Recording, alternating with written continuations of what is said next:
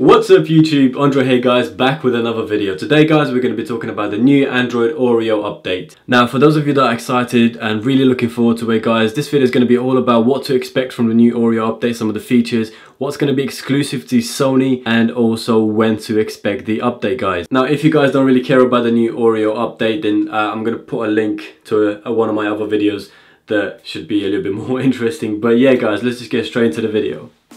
Now, as some of you may know guys, the Google Pixel 2 and the Google Pixel 2 XL are going to be the first ones to get the new Oreo update. Why? Because the software itself is made by Google, the phone itself is made by Google, so obviously Google is going to be releasing it straight to its brand new phones. Also guys, the reason it takes other software manufacturers such as Samsung, Huawei and Sony to release uh, updates is because they need to sort of make sure that it works specifically for their handsets. Each manufacturer likes to make it a little bit different and a bit unique and they need to make sure that it is definitely going to work well with their software. So hence the reason it takes a little bit longer. But anyway guys, Sony have actually been pretty good at releasing software updates. They've been pretty quick. They've probably been the next one after Google. Now Samsung are probably the worst for releasing updates guys. I know last year they took about 6 to 12 months they kept postponing it. For whatever reason, guys, it ended up being around eight months later after the initial launch of Android 7. Now, guys, according to TechRadar.com, the Oreo update has already been rolled out to Sony XZ Premium, and this update has been specifically to the Middle East. Now, they're also stating that it's underway to markets such as Hong Kong, Taiwan, and Africa, guys,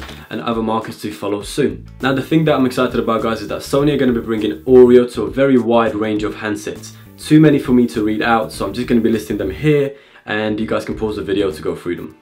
Brilliant, so let's get onto the features of the new Oreo update and what to expect. Also, I'm going to be mentioning exclusive features that are only available on these Sony handsets. So I think this needs a cool intro, so I'm going to be putting some text now.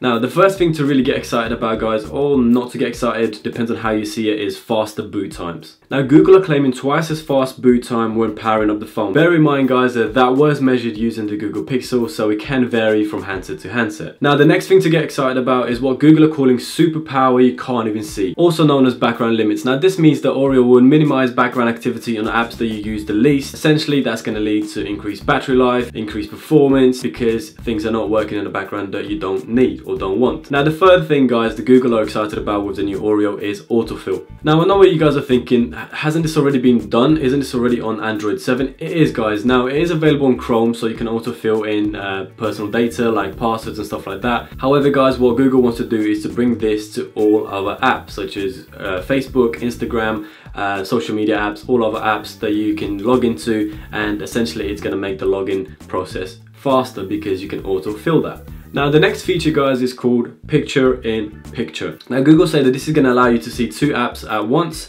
Um, I really don't understand how this differs from your current multitasking. So for instance, when you are splitting the screens, surely that's still seeing two apps at the same time. However, what I think they're talking about is actually being able to have an app on top of another app and move that around uh, so essentially you have two windows open at the same time on top of each other. Now guys, I love changes. I always love getting a new software on my phone. It makes my phone feel different, feel new, and always look forward to new software updates. Now the next feature guys I'm super, super excited about, it's called fewer taps. Now the way Google described this is on apps that provide notifications to your phone, you're gonna have a little dot in the one of the corners. And if you tap on that dot guys, you're gonna be able to see the notifications without actually opening the app. You're gonna see your recent notifications and it's also going to allow you to dismiss them so you don't have to open the app and it should speed things up. So hence the reason fewer taps. Really excited about that really looking forward to that guys. I guess this is something to match up with apple's force touch. So when you force touch on an app to bring you extra options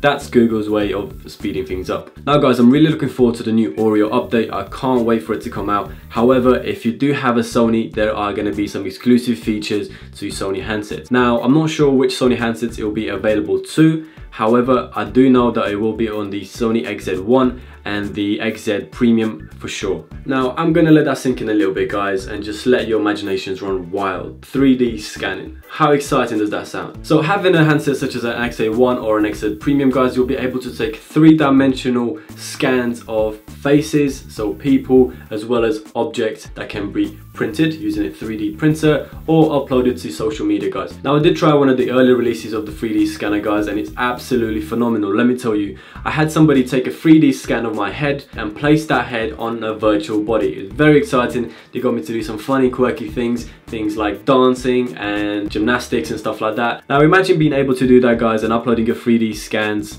to social media guys. It's gonna open up a next level of fun guys and it's gonna be super, super exciting. So really looking forward to that. So that's what to expect from the new Oreo update guys. Really looking forward to that and I would love to hear what your favorite features are and what you guys are looking forward to. Leave everything in the comments down below. I'm going to read all of them because I'm very very excited about that. Now if you guys like this video and find it useful, hit that like button guys. If you really really like the video, smash that subscribe button here or here, not sure whichever way it's going to go. Uh, but yeah, thank you guys for watching and have a wicked day.